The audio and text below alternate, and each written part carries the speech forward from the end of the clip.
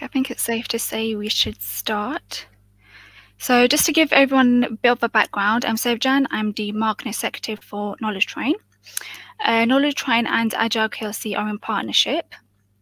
We have Paul with us today, so thank you so much for joining, Paul. Just before we start, the webinar is recorded, so you will receive a link, most probably next week, with the recording and the PDF version of Paul's slides.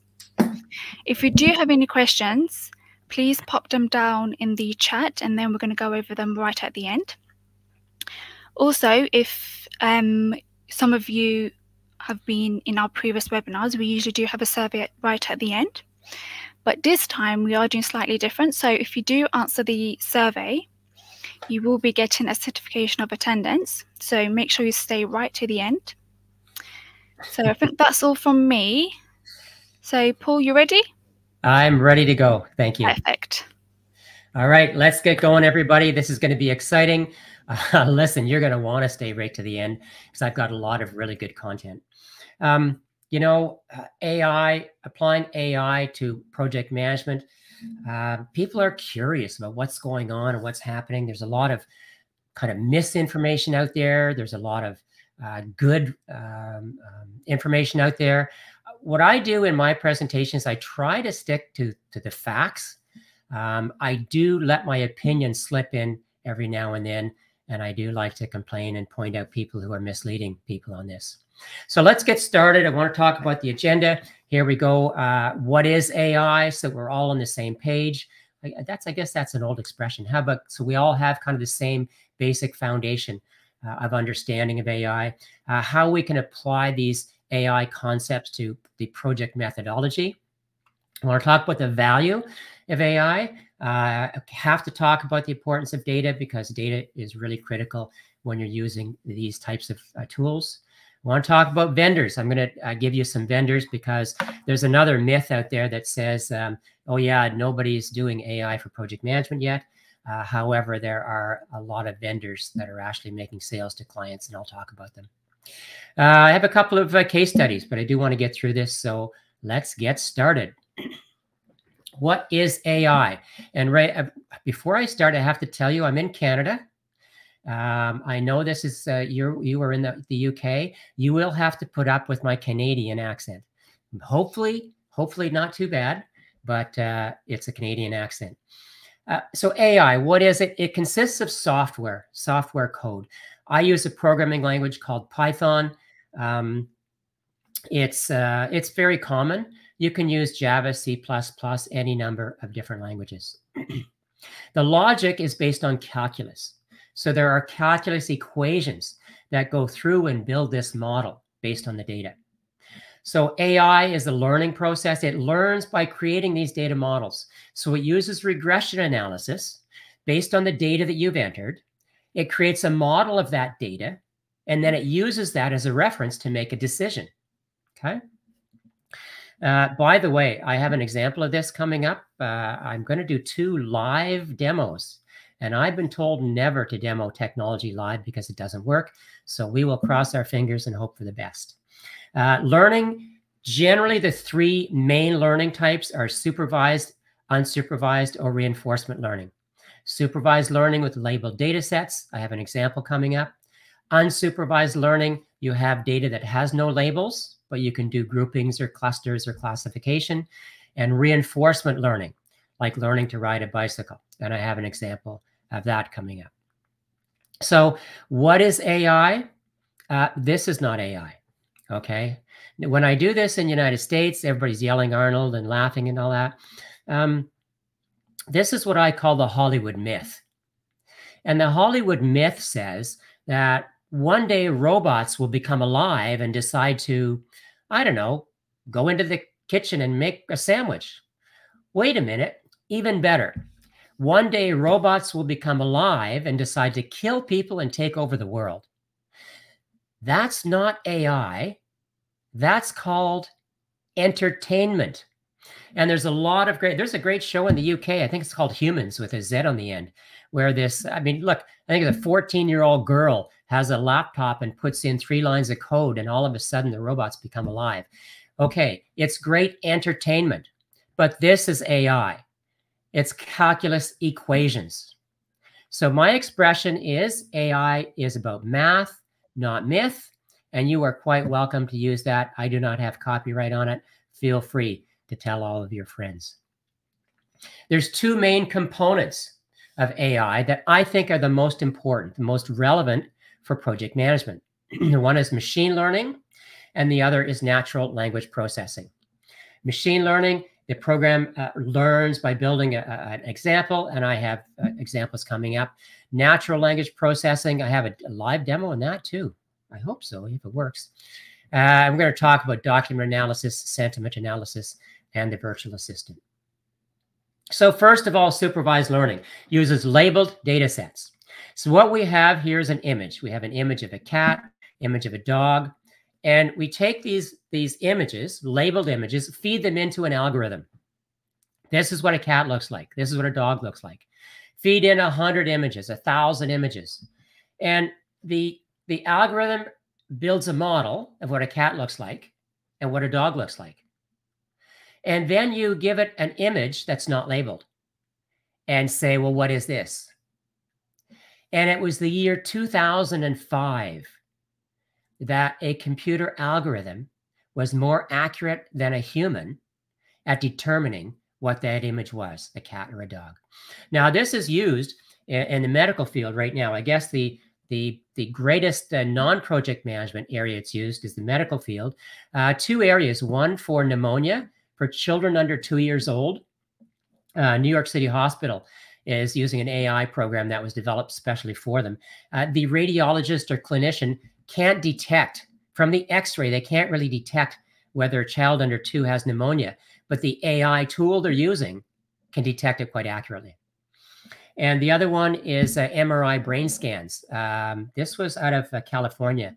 University of Southern California did a study where they fed MRI brain scans to detect, um, you know, whether people had aneurysms or tumors uh, in their brain. You know, that colorful image, the bird's eye view of, of the top of a human skull where it's all colors and everything. And it's very important because the decision is whether they're going to give you medication or get a saw and cut open your head. Um, the radiologist, the clinician in that case, was accurate about 90 to 91% of the time. And so they fed in thousands of images that they had labeled. Yes, this is a, a tumor. Yes, no, this doesn't isn't a tumor.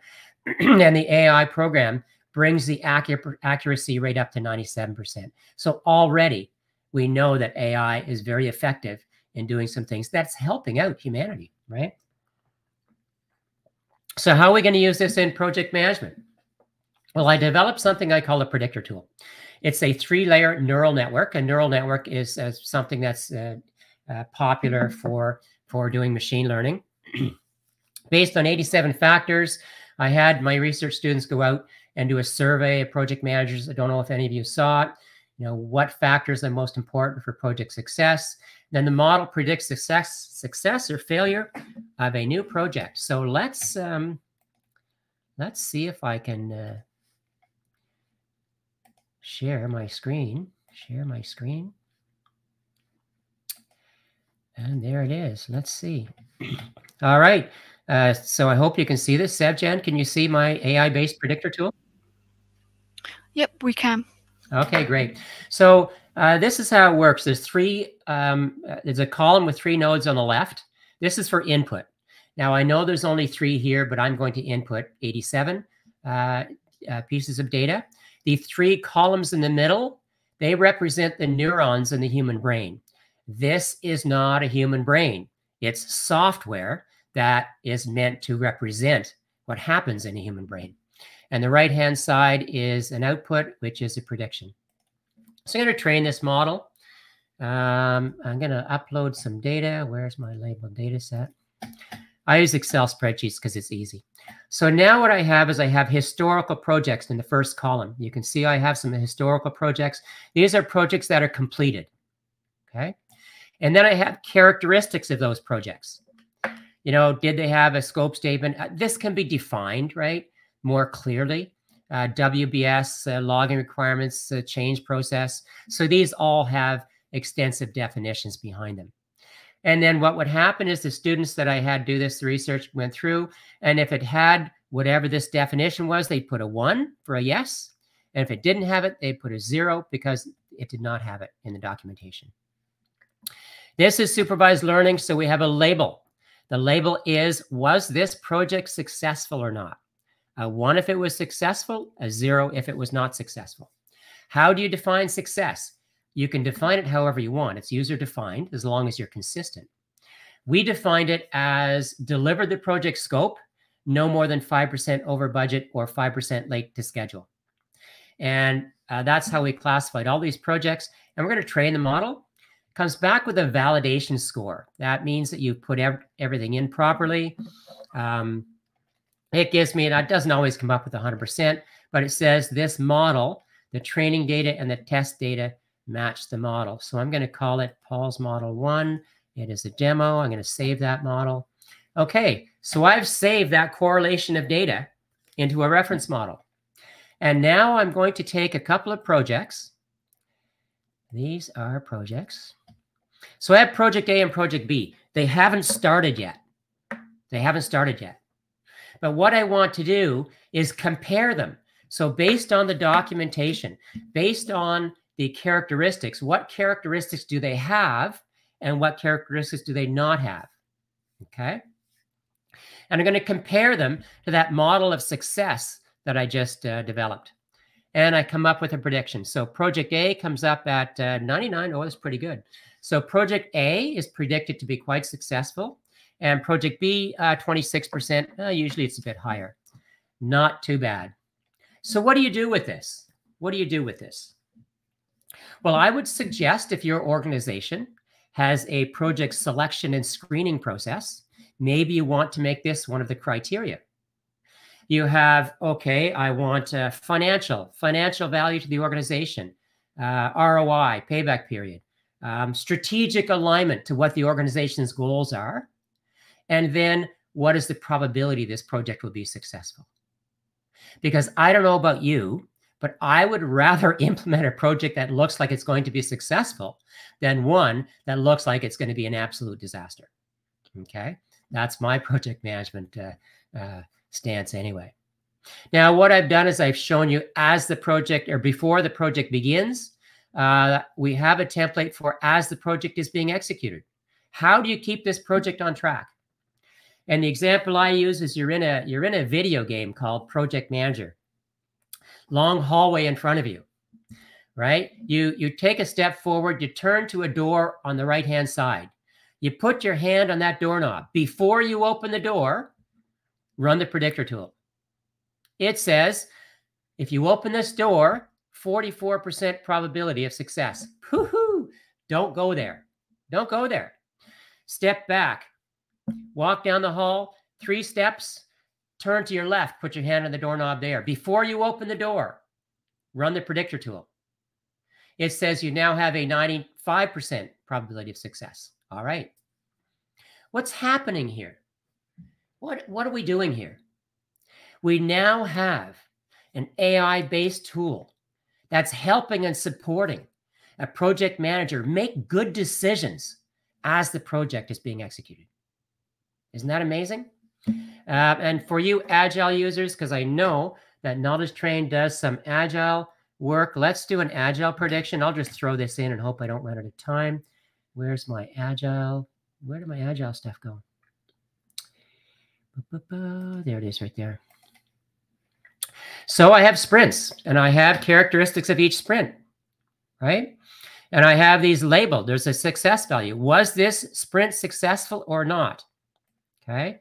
You don't need to have every characteristic in a sprint to make it successful. What we're doing is building a model for your organization, for your project, for your sprints of what it takes to be successful. So I'm going to train this model, 90% match on this. I can save it, uh, call it sprint model one. I'll just save that as a demo. Save the model. And now I go on to prediction. And let's see if I can find the sprints that I want to predict. Where's my sprints? There we are. So there I've got three sprints that I'm about to execute or, or deliver. Uh, and um, I want to know, compared to the reference of other sprints that have been successful, will these sprints be successful? And it comes up and gives me some values. So what do you do if it's 49%? What do you do? Well, what I would do is I'd say, well, hey, wait a minute. Maybe the strategy we have for implementing this, this sprint, uh, whatever the strategy is, doesn't look like it's going to work. Let's go rethink our strategy about what we should do and then come back and try it again, run the predictor tool again. Uh, this predictor tool, by the way, is um, I run it on uh, AWS, Amazon Web Services. Um, I offer it. Uh, it's an education and training tool that I use, uh, but I do offer it for free. Yeah, I know. You just came for a for a small training session. All of a sudden, I'm giving you free stuff. Uh, if you send me an email, uh, my information will be at the end. Uh, I can have one of my students set up an account for you. And if you want to go through and do some practice with it, um, you can help yourself to do that. Okay. All right. That is that. Let's stop sharing this and go back to the slides. Stop sharing. Uh, go back here. Slides, uh, slides. And if anybody has any questions about that, you can throw them into chat. Uh, share screen. Window. And my, where's my window here? There it is there. All right. So hopefully we're back to the um, supervised learning uh, screen. Project success, we labeled process portfolio. So that was the demo. Um, now, there are other predictor tool templates. I've had students work on this. We obviously have project prediction. We have sprint prediction. We have risk what risks are most likely to cause an impact to your project. Stakeholder management one is fascinating. It has all the characteristics of different stakeholders and whether during the process of your project they caused an issue that for for that, that had an impact on your project, caused it to fail or caused it to get into trouble. Uh, resource schedule, budget. Now, I have these characteristics in these templates. They're all customizable. You don't have to use what I put in. Your definition can be whatever the definition that you want. Okay. So that is supervised learning using a prediction tool to predict various elements. Second one is unsupervised learning. So unsupervised learning uses characteristics, okay? They're called features in machine learning language. And it looks for patterns, okay? So there's no label, but based on, uh, typically when they, when people first start learning this, they use fruit. Uh, so based on size and color and weight, you can group things together, right? How do we use that in project management? We do something called clustering. And I've done this. I have a program on my laptop uh, in Python that does this. I just take all the characteristics of tasks and I throw them in and put them into groups. And the purpose for this is what if you discovered that 80% of your tasks on the project were high complexity? For me, what I do is I say, well, wait a minute, if 80% of my tasks are high complexity, um, I need to go check my resources. Do they have the skills? Do they have the technical ability to complete these tasks successfully? Or maybe I need to give them more training. Or maybe I need to bring in an expert to do some coaching and mentoring. Uh, this can also be used for risks. I've used it on risks where for risks, for example, you cluster your risks. You have 200 risks on a project and you, you put them into groups. And then maybe one of those groups has the same cause, or maybe one of those groups you can use the same mitigation strategy. So we're starting to gain insights into our project that we wouldn't normally be able to do for a number of reasons. First of all, because machine learning tools can manage more data uh, than humans. And second of all, because we don't have the time, right? Uh, what happens is we to use machine learning, and we all want to do well at planning, right? That's where we want to spend our time in the planning stage of a project. And what do our sponsors, what do our customers say? Why don't I see a shovel in the ground? Why don't I see you? What, when is it? When are you going to start? So we're being pushed to start before we can spend all that time in planning. And what AI and machine learning can do for you is do that planning instead of taking two days to review a scope document, for example, you can do it in, in two hours. Uh, the third one, machine learning, reinforcement learning, uh, you know, self-corrections, right? Algorithm is based on feedback. like learning to ride a bicycle. And I say here, imagine if humans never made the same mistake twice. Um, I have to whisper this.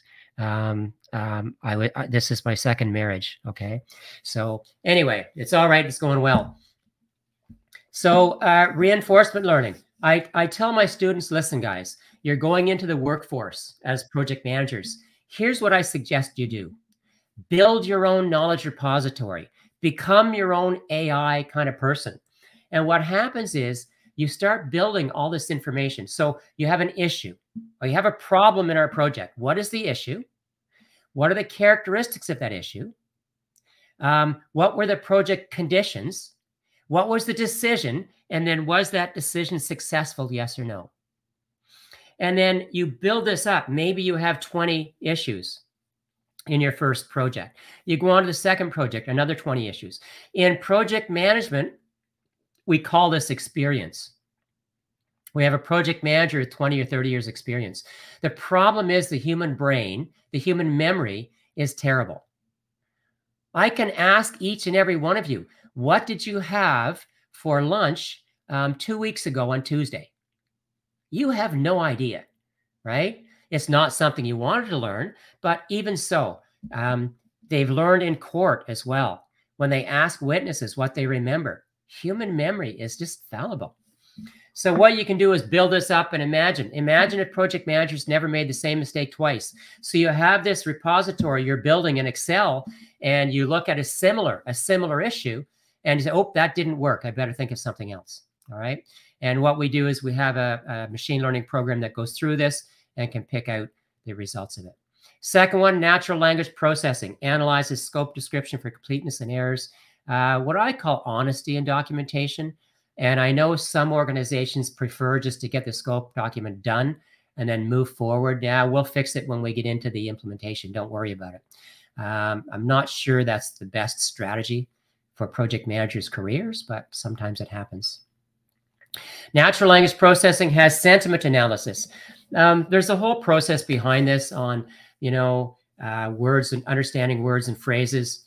Uh, you can send an email and somebody says the word happy, uh, um, you know, enjoy, excited. That's a positive sentiment.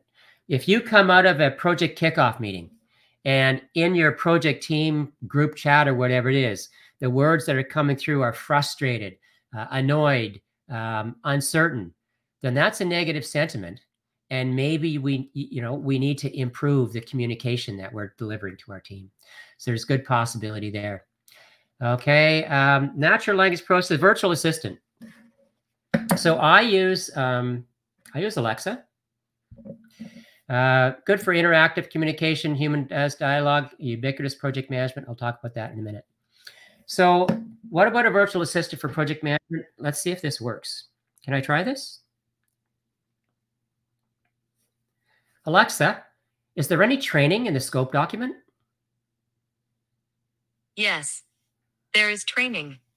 Five people are identified for one week each of training.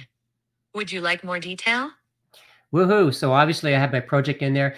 Um, listen, guys, when I started this, I did this about 24 years ago, and it was blowing people away like, oh man, that's great. Um, now there's about four organizations that do this. I'll talk about it in a minute. But the second level, uh, I define these three levels, by the way. This is my my uh, definition. Um, we have a virtual assistant that understands project management concepts. So let's see uh, what Alexa can do here. Alexa, there are three tasks this week. Can I move them to next week?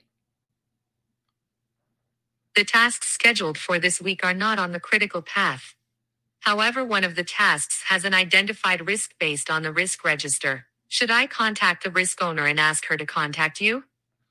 So there we go. Thank you. Thank you, Alexa. So now what we have, I call this ubiquitous project management. That is, you can manage a project from anywhere at any time. Um, there's a number of organizations out there that offer this. So Horizon PPM is a software application that has an interface to Alexa. You can add, talk about risks. You can talk about your schedule. Uh, PMOtto out of Germany uh, is building this capability. They have some capability now. Um, and I can't remember the other two. Uh, MS Project has it, but MS Project is just faking it. In MS Project, you can say, add another task. Well, to me, add another task is like an admin. It's not really a project management kind of um, thing. Uh, let's see, link to machine learning and expert systems. Uh, so what we have, uh, and we have to be careful. What I what I talk about with AI is something called an integrated solution. And there are tools out there, and I don't want to mention any names like Jira. And what Jira will tell you is, is okay, you've got George on this task. If you keep George on this task, your schedule is going to slip by, by a week. You should take George off this task and put Mary on the task. And so you do that. Oh, isn't AI wonderful? Isn't AI wonderful? Look, it helped me bring my project back on track. Not so fast. I say not so fast. What about risk? Eh, who cares? What about quality? Eh, who cares? The tool didn't tell you that. But as a project manager, aren't we the people who have this overall perspective of the project? We look at all areas. And maybe you assigned George to that task because they have the best quality and they're likely to not encounter the risk or look, they know how to avoid the risk that's involved. And what does the tool do? Eh, so we have to be careful with using AI that we understand an integrated solution. We don't solve one thing and ignore other aspects that could be a problem later on. Okay, so what's the value of AI? Um, listen, guys, here's the problem we have. You take any survey, and I know PMI had said that at one point they were up around 65% project success and things were increasing. It's not true.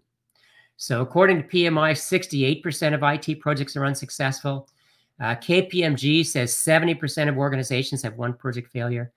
Um, the biggest issue that everyone agrees on 11% of project spending is wasted due to poor performance, um, inefficiency in resource allocation, inefficiencies in how you're doing bad project management decisions. I mean, we're spending trillions of dollars on projects. If we could find a way to save 11% of that, it's a huge amount of money. Uh, my uh, my favorite uh, survey came out of Oxford University, and it uh, was on uh, large projects. They call them mega projects. I think it's over $100 million. 2% of mega projects are successful. 2% deliver the scope on time and within the budget. Oxford University study. We can't keep going the way we're doing. It's not. It's not really working. Um, okay, we need to find a way to change our methodology, and I believe, I believe that AI offers us an opportunity. And what I see from where I am is that this disruption has already started because I've been working with organizations that are implementing AI for their projects. We're moving away from this, what I call process based adherence. And for those of you who may have uh, caught that, um, that's the scaled agile framework. Um, listen, I know Knowledge Train works with agile. I know there's agile aspects of this. You have to get that knowledge in agile. Go ahead and take that training. You can't change your project methodology without understanding what you're changing. So go ahead and take the agile training. Um, but what agile says, what these advocates are, and advocates is a, is a, a, a light word. They're really, um, I don't know what you call them, evangelists, or they're so fervent in their belief that you have to implement all 50 or 80 aspects to agile to be successful. The answer is no, not true, right? It only delivers you 30 to 40% project success rate. So we're moving away from this process oriented project methodology to a data driven methodology. We use AI to make decisions based on data. All right. Uh, productivity using generative AI like ChatGPT, Bard, if you've used any of those tools, um, those are being used a lot now in project management. Uh, creating a scope document, creating a schedule template, um, doing error review, asking what my risks are, and it comes back. It doesn't have a perfect answer, and I can tell you that because I teach project management. And what I do is I put my, my uh, exam questions into ChatGPT to make sure that it can't come back with all the right answers, and it doesn't. okay. So it's a good tool to help you uh, on the way to creating um, good risk documents to see if you've missed something.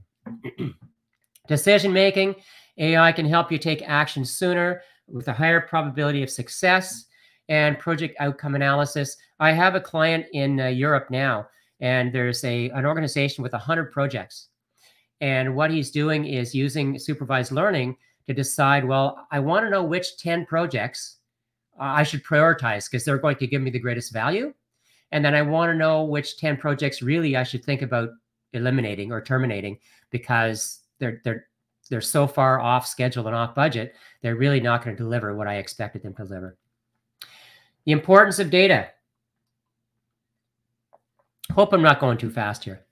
The importance of data. I have this picture on the right-hand side, little, little image. Those are gold coins. Because I know you. You have, the organizations have project management data. Listen, I work with organizations that have years and years 10 20 30 years worth of project management data. The question is what are you doing with it? It's a gold mine. At least run some data mining tools predictive analytics through all of your historical projects. You will gain insights that you were not aware of. It's going to find some correlations in that data that you may not have been aware of whether it's risks or schedule or what resource allocation whatever it is it is a gold mine and you're doing nothing with it. Okay. At the very least, um, work with my friend Martin Paver out of the UK, who has a, uh, data trust, and he will take your your data, anonymize it, and then do the data mining and insight work for you. Uh, structured data is essential. You may be capturing data. Anybody who's done a data migration project, as I have done, uh, will understand there's tons of errors you know, uh, uh, wording differences. My favorite, I have to tell you, my favorite one is the uh, owner name. So uh, this was a um, a, uh, a kennel club that I worked with, and they had a customer relations database that they were transitioning from a legacy application to Microsoft Dynamics. And we got to the field for who owned the dog, right? And there's supposed to be a name in there. And we found that some of them, there were three names. So the the, the uh, we got the company that some of the people with functional primes went back and they we said to them, well, why are the three names? And they said, oh, that's because the people said, well, we think all three of us should be the owners of the dog. So you never know what's going to happen.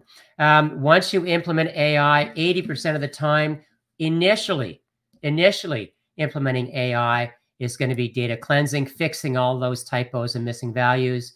Um, you have to do some data maintenance and feature engineering is um, making sure you have the right characteristics. Now, when I showed you my 87 characteristics uh, in supervised learning, they could be 120, they could be 150. I think my risk one has 300.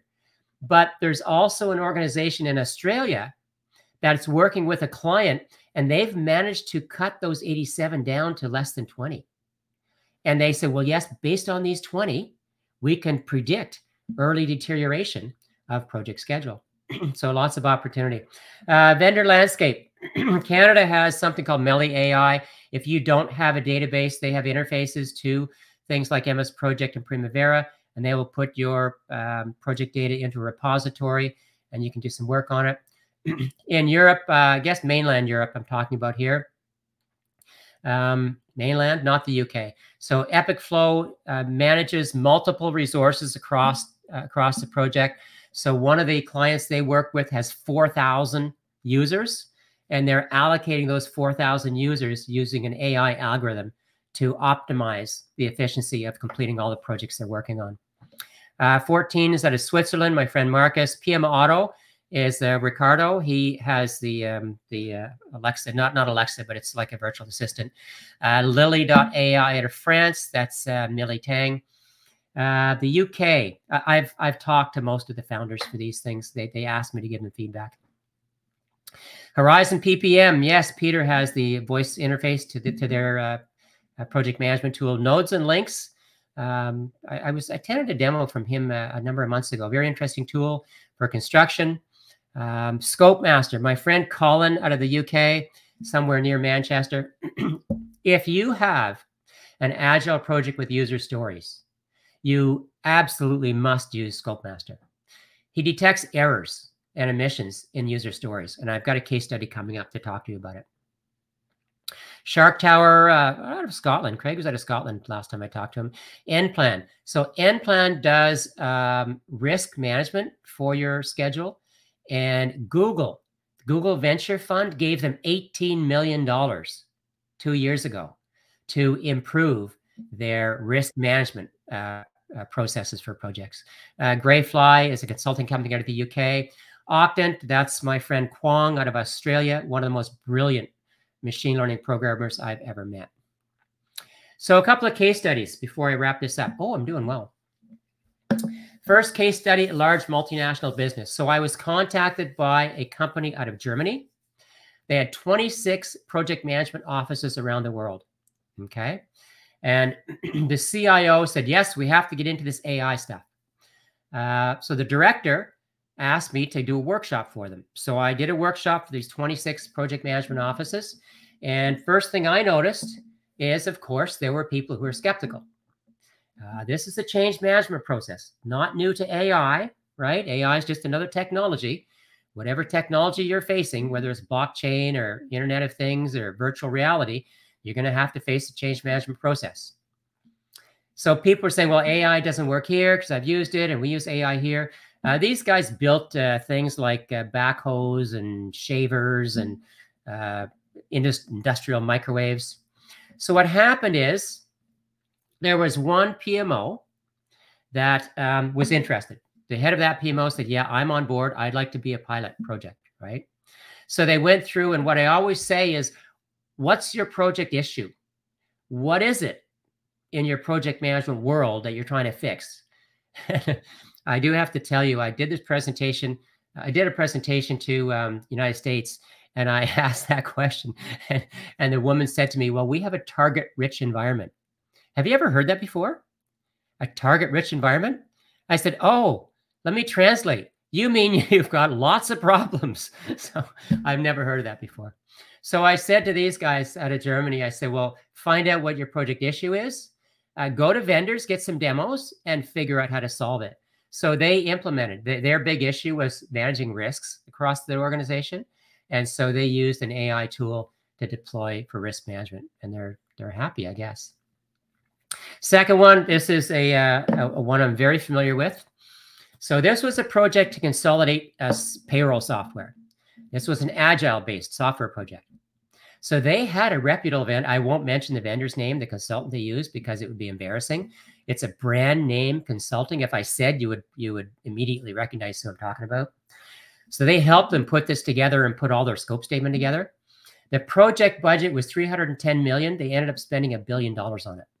Okay.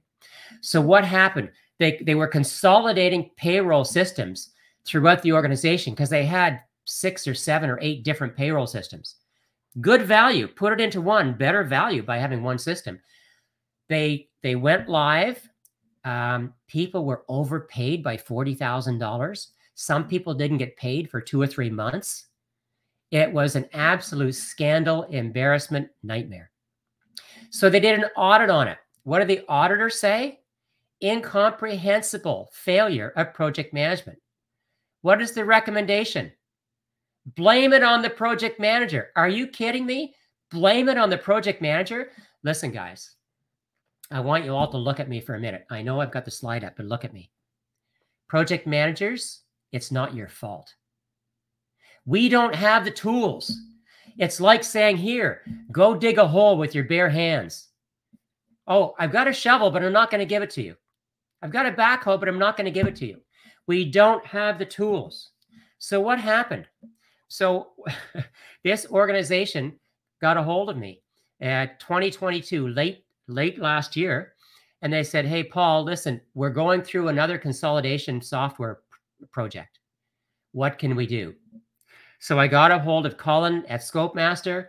They ran the program through and they corrected all the errors. Uh, there's an Accenture survey that says 37% of all agile projects fail because they haven't defined their user stories properly. And then I got another call uh, just two months ago from the same organization. They want to, they've got another software project. They want to use the same tool. Can we do it again? Okay. So this is a large government organization using AI tools. Guys, if the government is doing it, why aren't you doing it? We know governments are very risk averse, but they're also very scandal averse. They don't want to be embarrassed. So how do you get started? How do you get started? Uh, what do you have in your organization? What project data do you have? What does it look like? Where's it stored? Is it structured? What's your current project issue? What, what's the problem you're having? Uh, create an AI roadmap. So how are we going? What are we going to do? Right? Uh, what's our problem? Which vendors do we want to talk to? Um, uh, so there's a make buy process here. If you have a strong IT department, you can do it themselves. My predictor tool, it's based on 14 lines of code. There's all sorts of libraries and functionality that comes with the software now. Uh, define the value, guys. Um, I am a business background, so I believe in a business case. So define what the expected value out of this is. Okay, we can reduce our cost or stop overspending or or reduce spending on risks or identify risks sooner. Whatever it is, define the value, put together a business case for it, uh, deploy the tools. Most of these tools are not expensive at all. They're either on a subscription basis or a user basis. Um, you can either have them deployed in the cloud or on site as you wish. Um, and here's my main takeaway. Here's my main takeaway. If you remember nothing, risk management processes were developed in the 1980s. I know what you're doing. I know what everybody's doing with risk management. Probability and impact, right? That's what you do. Probability and impact. That was developed in the 1980s. Oh, we've got fancy fancy uh, simulations like Monte Carlo and statistical methods we've added to it. But basically, it's a 1980s process. We need to update it. The critical path was developed for the space program in the United States in the 1960s. Really? That red line on Microsoft Project, you're still looking at that? And there are organizations that do it a lot differently. Organizations like Nodes and Links look at it and say, well, it's not just the critical path. What about risks? What about resources? What about theory of constraints? But the message is we need to modernize project management. We need to be more productive. We need to be more efficient. And we need to be far more successful. Okay? Um, you're the people here. Uh, you. This is your opportunity to lead this change. It's your opportunity to embrace this technology and find ways it's it's not like a turnkey solution. AI has has different creative ways to be implemented. And as project managers, I think there's incredible value there for you to understand the technology and find a way to implement it in your organization. Uh, this is uh, this is me. My contact information. I guess the slides have been made available later. Feel free to send me an email. Uh, my company that I started Stone Mountain Consulting. I have three books on Amazon, um, and I've been, I've been, yeah. So uh, love it if you start uh, purchasing them. You know, there's 16.5 million project managers in the world, and I'm not too sure how many can read because my book sales are not doing very well. But I won't mention that. I'd be happy if you picked them up. They're on Amazon in the UK, either Kindle or printed version. And I want to talk about um, uh, Knowledge Train. So thanks for this. They have a lot of courses here. I see Prince2, Agile. Guys, it's important. It's important to take these courses and increase your knowledge. They didn't pay me to say this. I'm just saying it. Okay. Um, look at Lean Six Sigma. Very appropriate when you're using AI because AI can take that concept and advance it even further right? Change management, I've said this, you need change management to implement AI technology because people will resist it.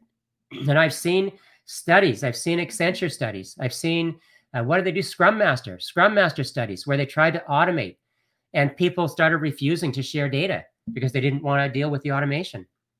So you have to be able to understand project management to a certain depth. And I, I'm happy that this organization, Knowledge Train, um, provides this uh, this opportunity for you. All right. Contact information. I'm going to stop sharing. Stop sharing. I hope you've enjoyed it. And uh, listen, I'm happy to take questions. Happy to take questions. Yep. Thank you so much, Paul. It was a great presentation. Um, as Paul did mention, we do have various courses. So if you are interested, you can always email me. I can send you some information. I'm just going to quickly pop down my email. Alternatively, you can write in the chat and I will email you with more information. So just before we head over to the Q&A, as I mentioned, there is going to be a very quick survey.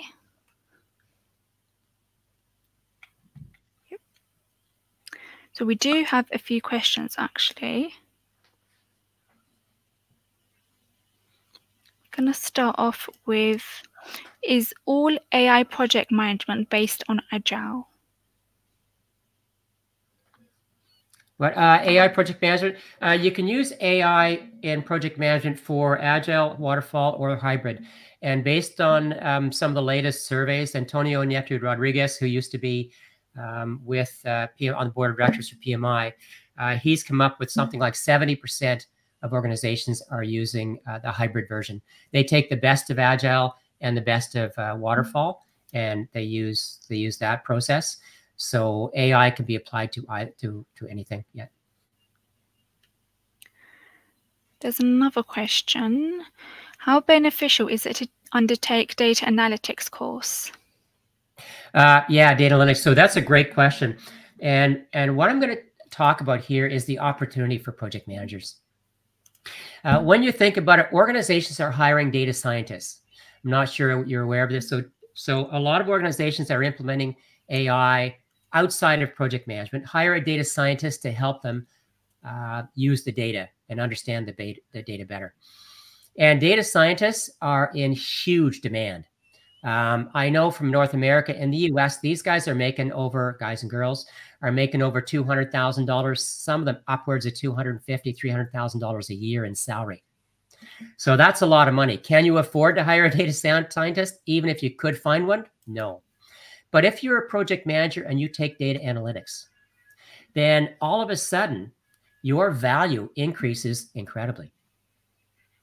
Do you need a data scientist to say, well, look, what project columns should we should we use and which project columns should we not use? A data scientist can't answer that. A project manager can answer that. But if the project manager has some data analytics background, they're going to be having their foot in both worlds. They're going to have a data scientist kind of perspective and a project management perspective, how valuable are you going to be to the organization? I think you're going to be incredibly valuable to the organization. So yes, I'd recommend it. I don't think it's, it depends on what your organization has, if you have IT people or not IT people. But yeah, I think it's a good opportunity for you. Next question is, can we teach systems thinking with certainty? I'm, I'm sorry, I missed the question. Can we teach systems thinking with certainty? Can we teach systems thinking with certainty? Systems thinking with certainty.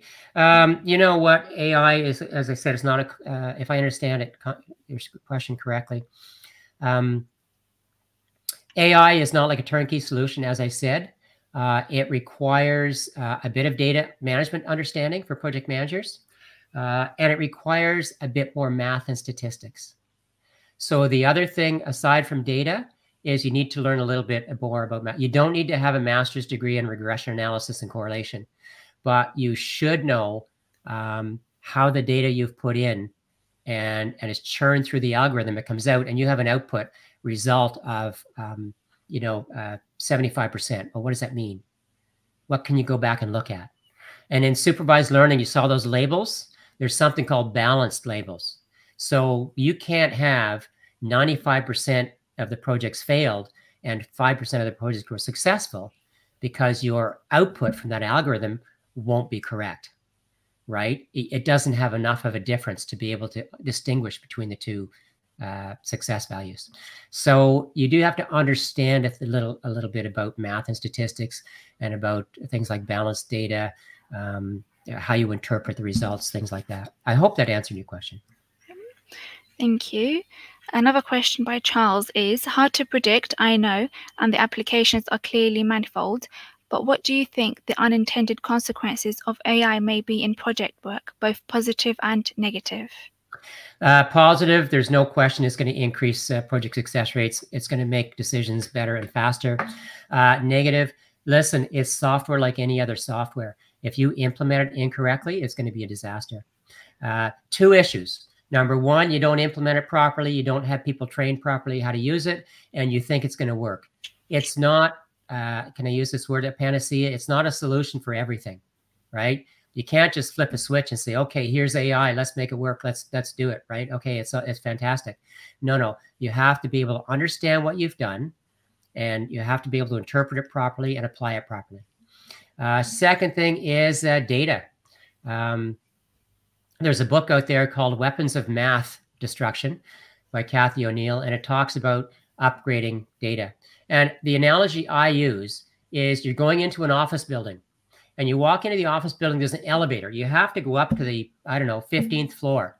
There's a sign at the elevator says, oh, by the way, this elevator hasn't received any maintenance for the past 20 years. How do you feel?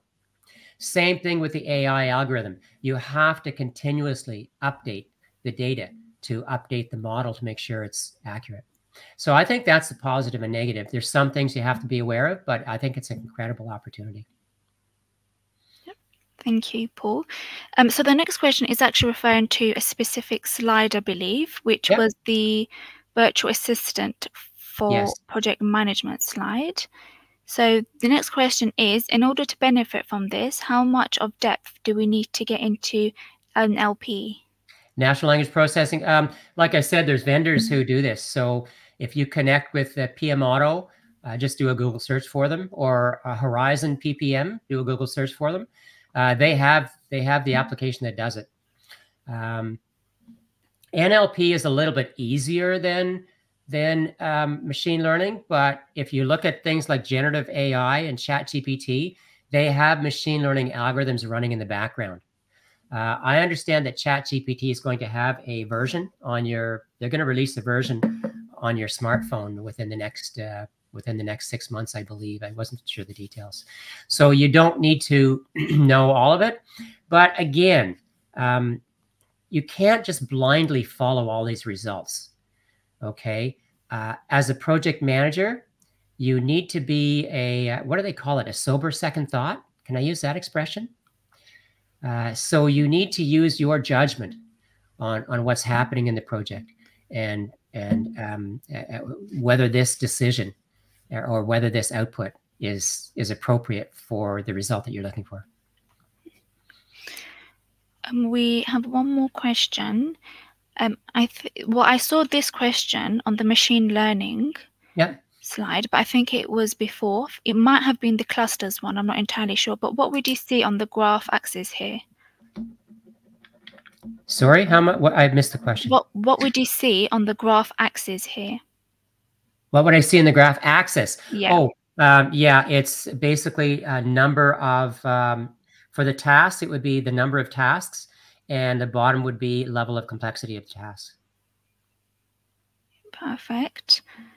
Just seeing if there's any more questions. So I have, I can, I can, I can talk about one that I get asked often uh, while we're waiting, and you go through those. Uh, how much data do you need? So there's another myth out there. This this misunderstanding and misinformation that put out people put out big data. Oh, we can't use AI unless we have big data. We need massive amounts of data. So first of all, for, well, if you're doing medical field X-rays and MRI brain scans, absolutely get as much data as you can. In project management with supervised learning, um, in some cases, yes. In some cases, no. So there's an organization uh, that's developed a PMI tool. By the way, those um, the AI tools that I showed you, the examples of the vendors, they have AI at the core. They don't have like a project management tool and then they added AI. They have they were built with AI in it and then they adapted it to to project management. So that's why I like them.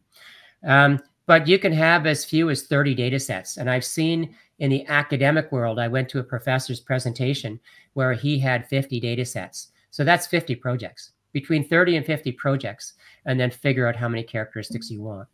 Unsupervised learning, you don't need big data. I just showed you we can we can classify tasks or we can classify risks based on whatever you have in your project. Um, reinforcement learning, yes, probably a bit more data. Uh, there's something called genetic algorithms, which I didn't have time to present here. I didn't have time to present about generative AI either. Um, but um, gen uh, genetic algorithms, um, they have the ability to do, do certain activities with the minimal of data. They make decisions. They're a great decision-making tool. Um, they fit into uh, reinforcement learning very well. So, and natural language processing, it, we've seen ChatGPT now with huge amounts of data, which is why it's successful. Um, but for a lot of the machine learning stuff, big data, you don't need big data to use it for project management specifically. And the problem with uh, ChatGPT is it's not focused on project data specifically. What I see organizations doing is they take the ChatGPT engine and they put it inside their organization. Then they direct it, they aim it at the data, the project management data that they have.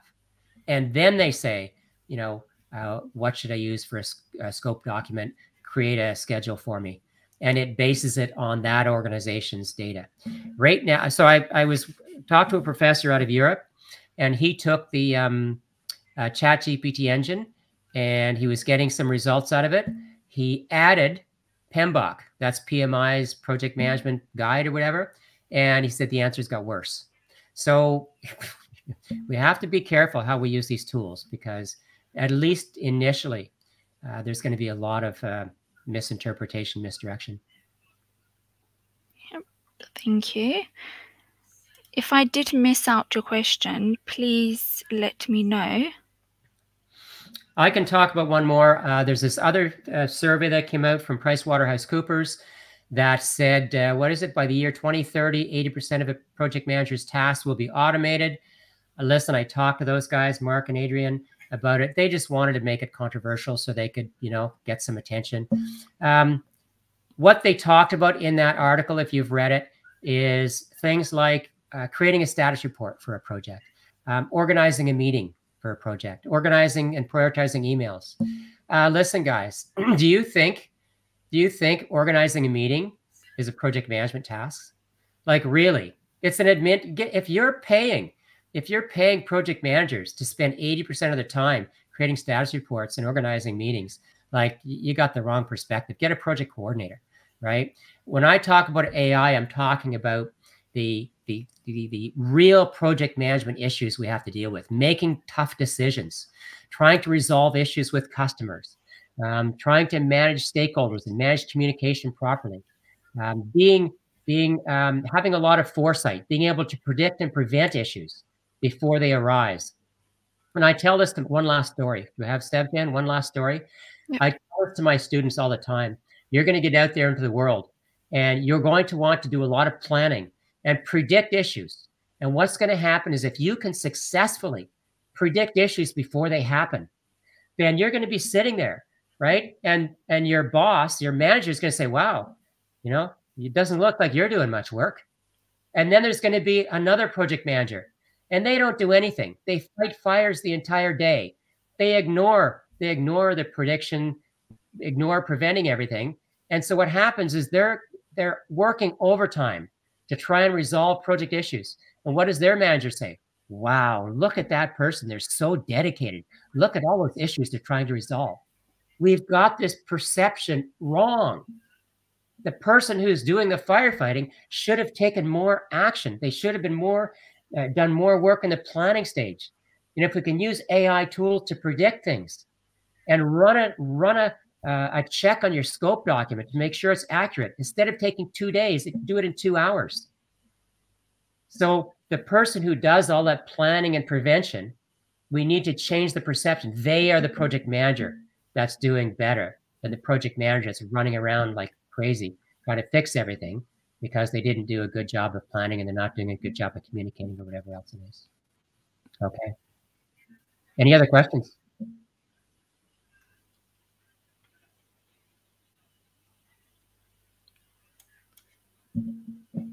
I can go through the chat. Sevjan, I can't hear you. Sorry? Oh, any other questions? um, let's just, we do have a lot of thank yous. Oh, the best 60 minutes of my day today. Thank you. Thanks so much. I appreciate that. Listen, guys, I as I said, I try and stick to the facts as much as I can. I do have opinions on things, but be careful. There are people out there who think they've read, you know, they read a book on AI and all of a sudden they're an expert and they start talking about it and and it's it's I get upset, right? I try and be a gatekeeper in those things, but uh, I encourage you. I encourage you to improve all of your learning, whether it's through Knowledge Train or whether it's through reading anything about AI. I have articles that I publish on a blog. Um, so you know, go ahead, improve your skills, but make sure you're you're getting the facts. Don't don't get the misinformation. All right.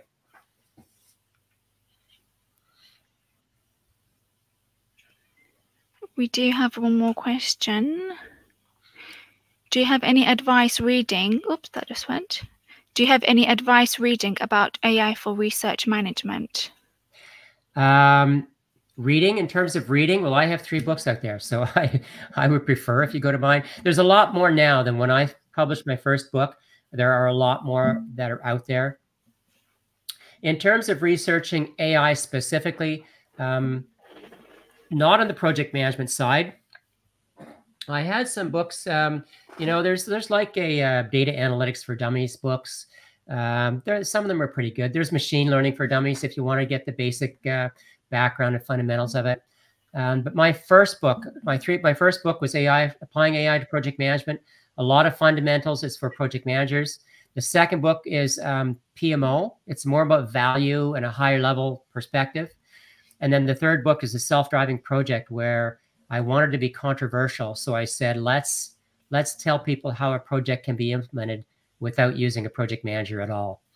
Now, at the end of the book, I say, you know, we need to collaborate. Project managers need to collaborate with AI to be successful. Um, and I, you know, I try to keep the books, uh, the prices uh, pretty reasonable. So Uh, Weapons of Math Destruction, I mentioned that, Cathy O'Neil. The other one I can mention is uh, Superintelligence by Nick Bostrom. Um, he is a negative guy on AI, so it's always good to get a different perspective. And out of Oxford University, anything you can read by Professor Bent uh. That's F L Y uh, V B J E R G. Professor Bent Flyvbjerg out of Oxford University. Um, he doesn't have so much on the AI side, but he talks about bias. He talks about all sorts of things, and he's one of my favorite uh, people to to read stuff through. Thank you for that, Paul. Does anyone have any more questions?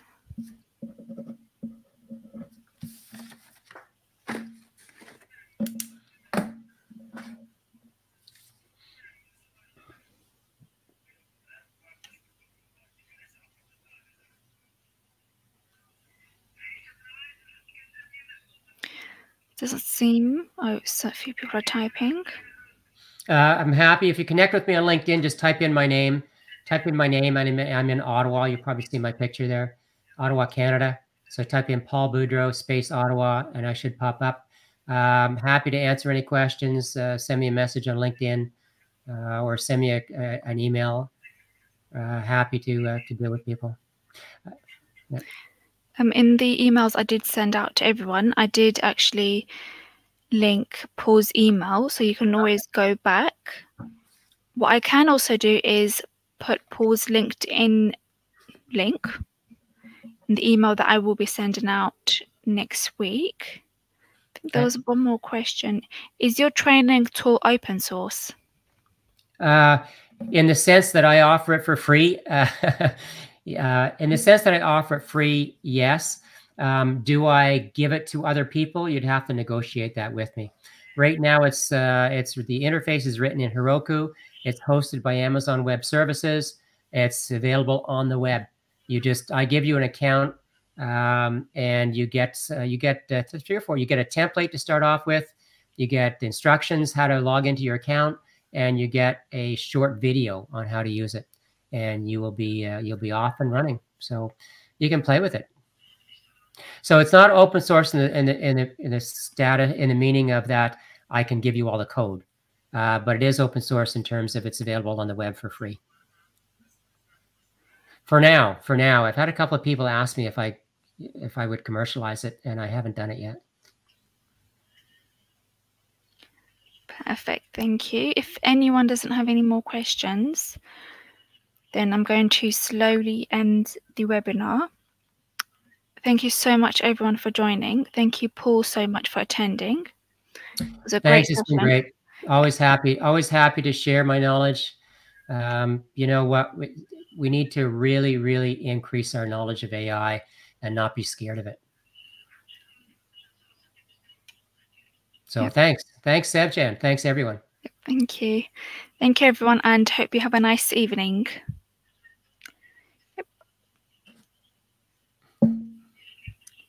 You, thank you, Paul.